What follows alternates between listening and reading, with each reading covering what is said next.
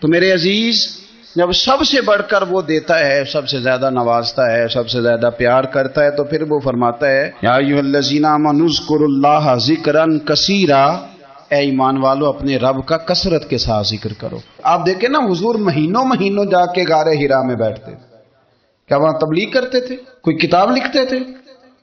رسول کریم علیہ السلام مہینہ مہینہ رہتے گارے ہیرا میں۔ کوئی نہ مجھے دیکھے، کوئی نہ مجھے ملے۔ حضور یہاں کیا ہے؟ فرمایا، میں اپنے رب کی عبادت کروں گا۔ نبی کریم علیہ السلام نے سجدوں کے ساتھ پتھروں اور پہاڑوں کو آباد کر دیا، سجدوں کے ساتھ۔ آپ کا سجدہ آپ کو بہت ساری چیزوں سے چھڑا لیتا ہے۔ یہ بہت ساری جگہوں سے جھکنے سے بچا لیتا ہے۔ صوفیاء، اولیاء، یہ کیا کرتے تھے؟ یہ سجدے کا ذوق ہی تو پیدا کرتے تھے۔ سجدے کا ذوق شاہ عبد العزیز دباغ رحمت اللہ تعالی علیہ اپنے مریدوں سے فرمایا کرتے تھے کہ اگر تم پکے نمازی بن جاؤ نا تحجد گزار ہو جاؤ، تو میرے پاس آنا جانا چھوڑ دینا۔ عرض کی حضور کیوں فرمایا، میں تمہارے اور رب رسول کے رستے میں رکاوٹ نہیں بننا چاہتا۔ اب میرا مقصود ہے تمہیں وہاں تک پہنچانا۔ جب پہنچ گئے تو پھر میری ضرورت ختم ہو گئی۔ ہاں کبھی وس وس آئے، شک پیدا ہو، تکلیف ہو تو آنا۔ ورنہ میں نہیں چاہتا کہ میں رکاوٹ بنا رہوں۔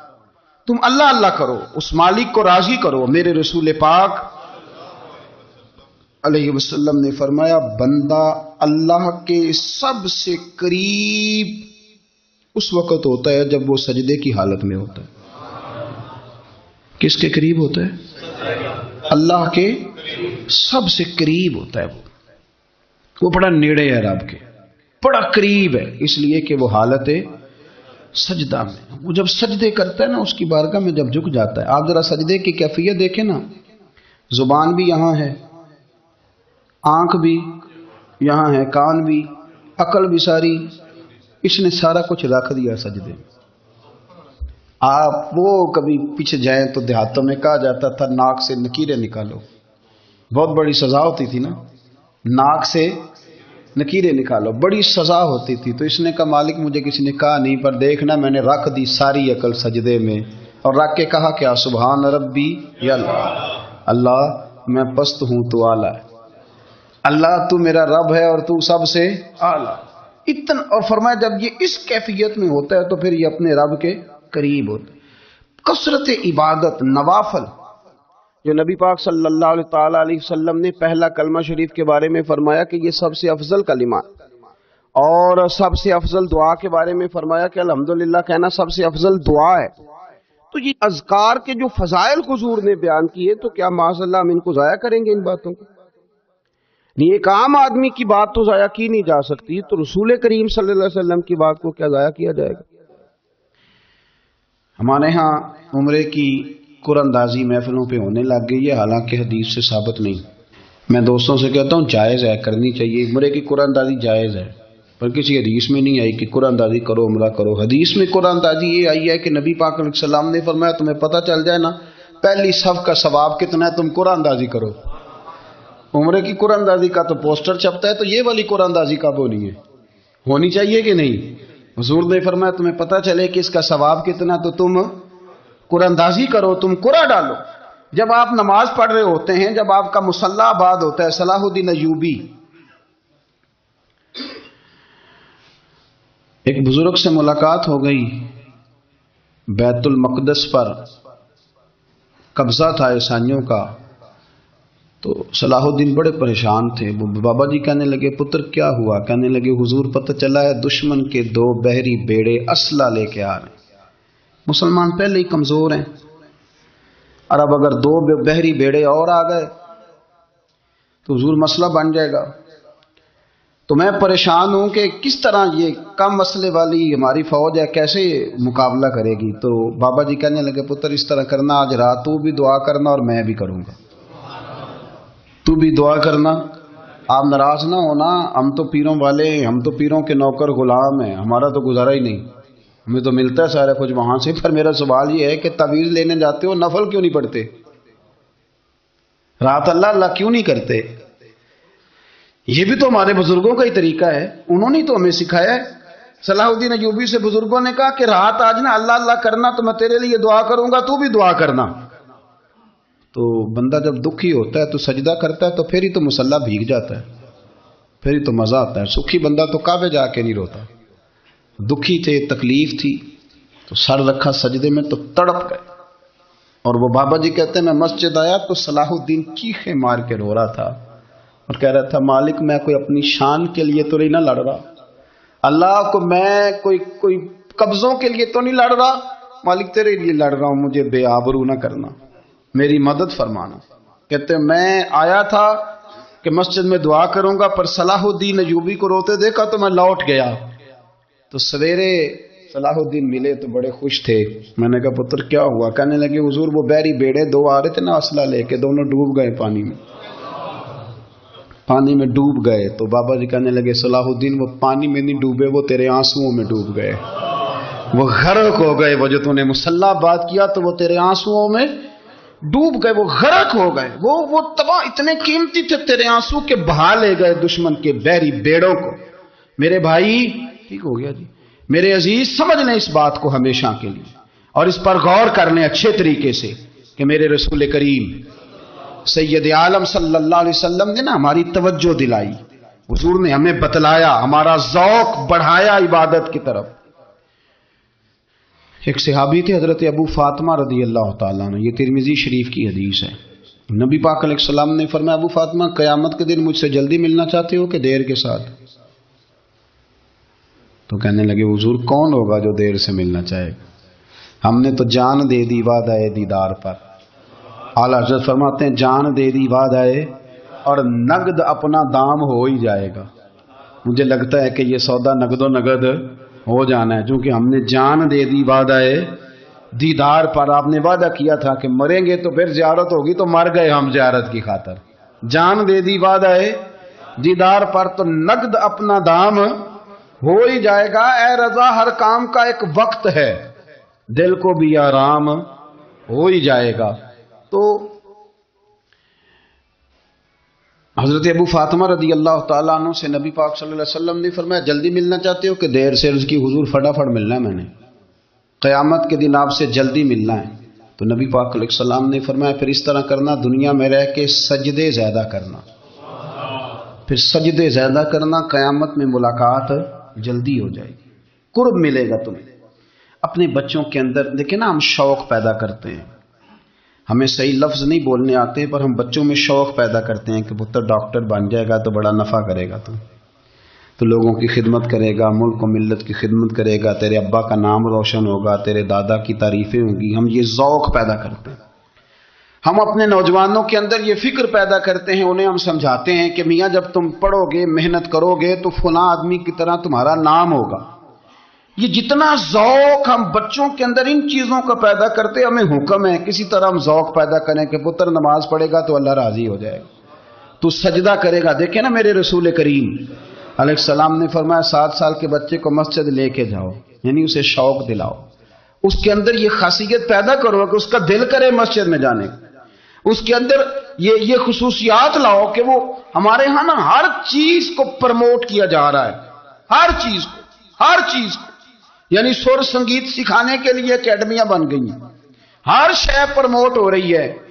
عبادت کا جذبہ کم ہوتا جا رہا ہے۔ اللہ اللہ کا ذوق ہمارے اندر نہیں رہا۔ اور اتنا مشکل ہم نے اپنے لیے بنا لیا ہے کہ وہ بندہ جو بڑی زبردست مذہبی گفتگو کر رہا تھا۔ اور تگڑی بات کر رہا تھا۔ کیا بات ہے؟ لیکن نماز کے بارے میں کمزوری دکھا جاتا ہے۔ نوافل کے بارے میں وہ چپکے سے نکل جاتا ہے۔ امام احمد بن حنبل رحمۃ اللہ تعالی علیہ مسند امام احمد بن حنبل چودہ جلدوں میں ہے مارکیٹ میں۔ اور مجھے تو خیر پسند ہی پڑی ہے۔ میں نے تو کئی دفعہ پڑھی ہے۔ اور کیا بات ہے امام احمد بن حنبل کی؟ کیسے تگڑے قسم کے محدث تھے اور اللہ نے کتنا انہیں اعزاز عطا فرمایا ہوا یہ کوڑے بھی کھاتے تھے دین کی خاطر۔ سارا کرتا لہو سے بھر بھی جایا کرتا تھا۔ بڑا اعزاز والا شخص تھے، بڑے اعزاز والے۔ حدیثیں جمع کرنا، حدیثیں لکھنا، حدیث پڑھانا، سارا دن رہتے تھے۔ کہہ سکتے تھے کہ میں کر تو رہا ہوں کام۔ اور حدیث بھی موجود ہے کہ عالم عابد سے افضل ہوتا ہے، پر اس کے باوجود امام احمد بن حنبل رحمت اللہ علیہ تین سو نفل فرض نمازوں کے علاوہ پڑھا کرتے تھے۔ تین سو نوافل روز پڑا کرتے تھے۔ ان کے بیٹے نے کہا، ابا جی مکان خریدنا ہے تو کوئی جگہ کہاں کر کے لوں؟ بہت ساری آبادیاں تو فرمایا، پتر، وہاں لینا جہاں مسجد قریب ہو۔ میرے رسول کریم، سید عالم صلی اللہ علیہ وسلم اتنا پسند کرتے مسجد کو، اتنا پسند کرتے نماز کو کہ رسول کریم صلی اللہ علیہ وسلم تحجد کی نماز بھی پڑھتے۔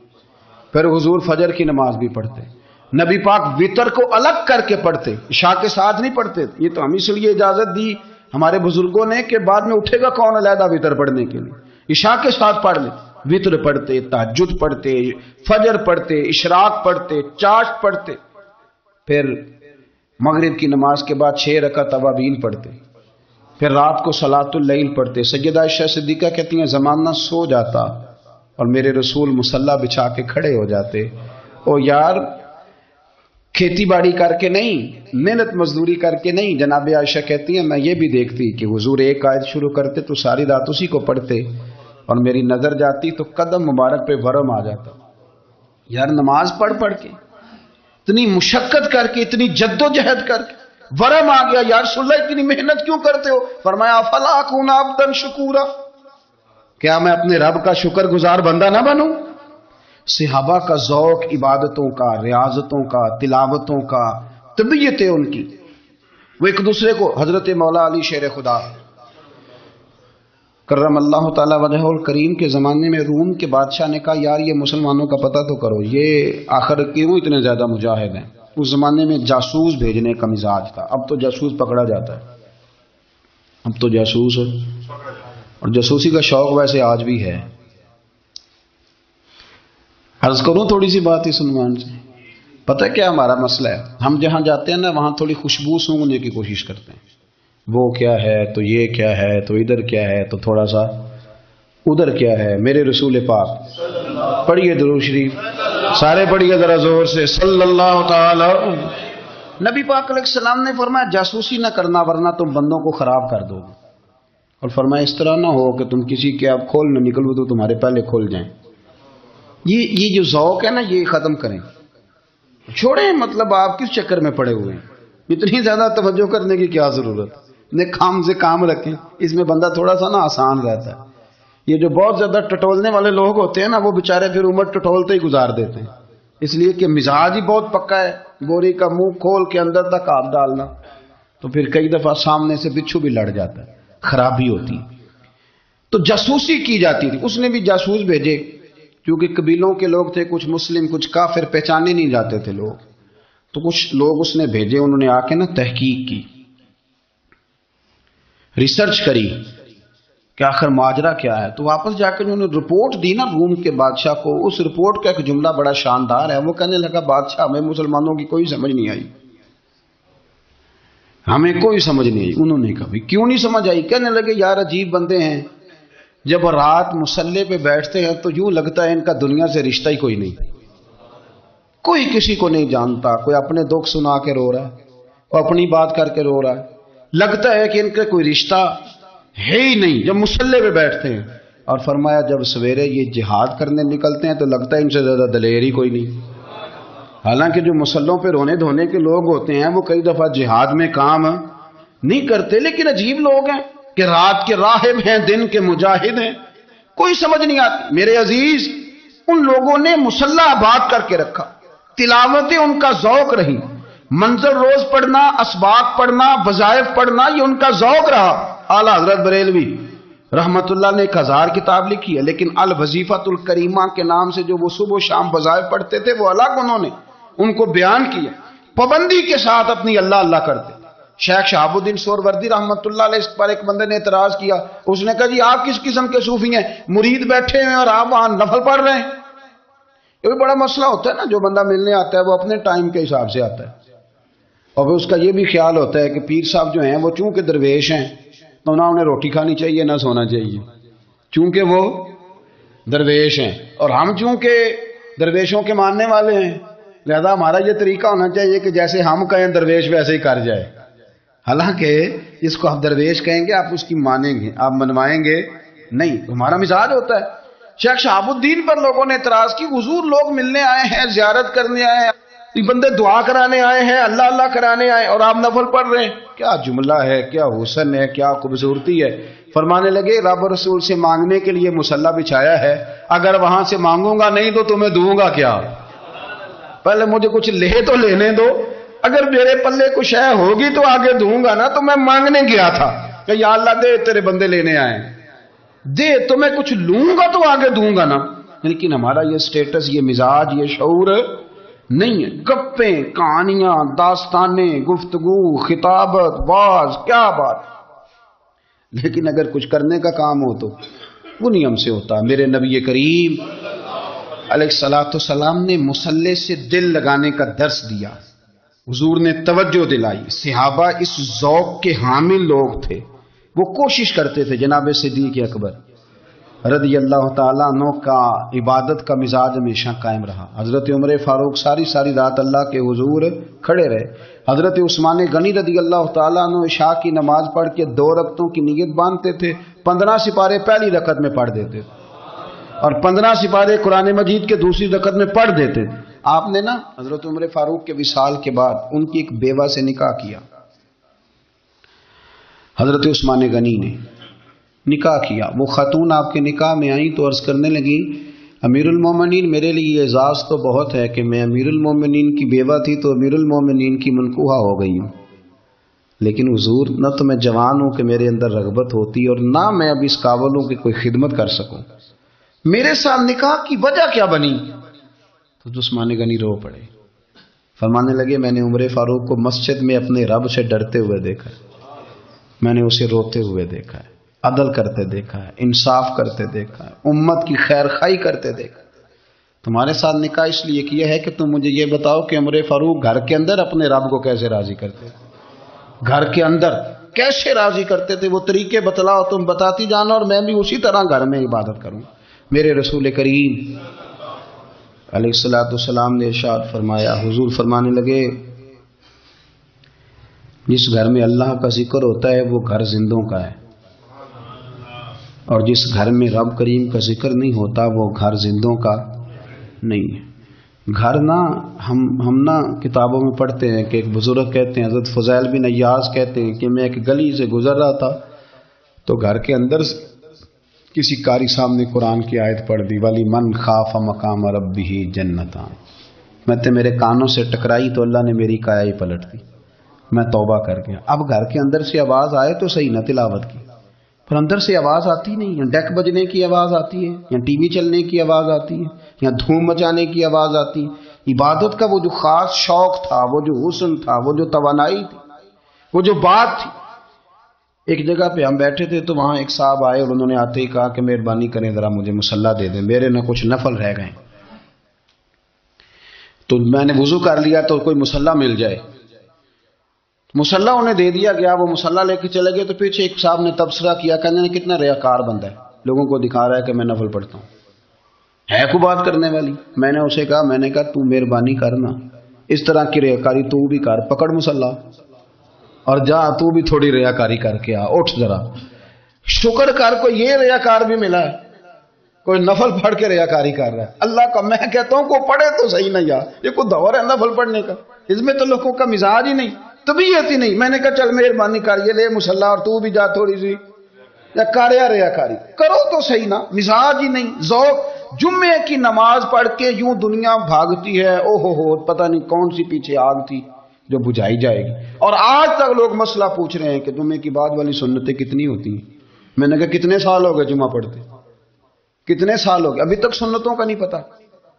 ابھی تک نے علم کے پہلے کتنی رکھتے ہیں اور بعد میں کتنی رکھتے ہیں؟ فجر کی سنتیں کب پڑھنی چاہیے؟ سنو فجر کی سنتوں کے بارے میں۔ میرے رسول کریم، سید عالم صلی اللہ تعالی علیہ وسلم سے ایک سیابی نے پوچھا تھا، حضور، میری فجر کی سنتیں رہ گئیں یا رہ جاتی ہیں؟ تو حکم کیا ہے؟ کیا انداز ہے حضور کا۔ بخاری مسلم کے لفظ سنو، حضور سید عالم صلی اللہ علیہ وسلم فرمانے لگے، اس نے کیا پوچھا تھا؟ حضور جواب کیا دیتے فرمایا، فجر کی سنتیں کبھی نہ چھوڑنا۔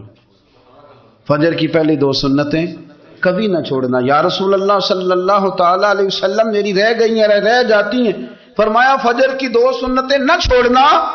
فرمایا، فجر کی پہلی دو سنتیں مجھے دنیا اور دنیا کے اندر جو کچھ ہے، وہ سب سے زیادہ پیاری ہے فجر کی دو سنتیں دنیا اور دنیا میں جو کچھ ہیں مجھے وہ سب سے زیادہ پیاری ہیں۔